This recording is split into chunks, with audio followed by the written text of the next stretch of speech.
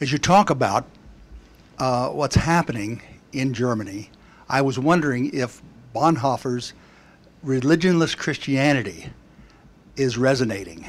Are you getting house churches where you don't have clergy, where you do have people that are getting together? Actually, it's even taking place in China. And uh, is this a, a, new kind of, of movement? And is Bonhoeffer seen as a key player there? Well, Bonhoeffer, of course, is a very, very important person in the Protestant cultural and religious memory. You find thousands of Dietrich Bonhoeffer Kirchen all over the country. You find uh, political, or you have a political agenda where remembering those who opposed National Socialism play an important role. But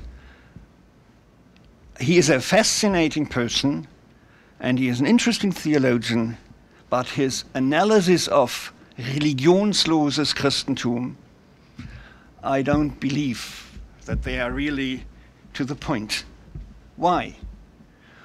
The same time people are stepping out of the church, they many of them engage in very well interesting religious practices.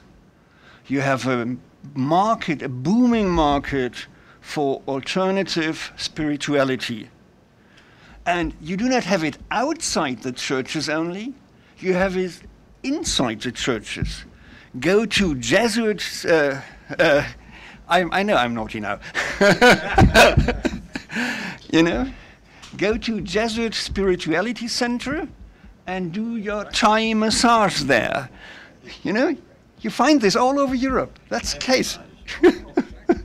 you know, and uh, so, so you don't find a lot of religionsloses Christentum, yeah, but you find a lot of Christianity combined with plural spiritual offerings healing your body, using warm stones, and all these kind of stuff.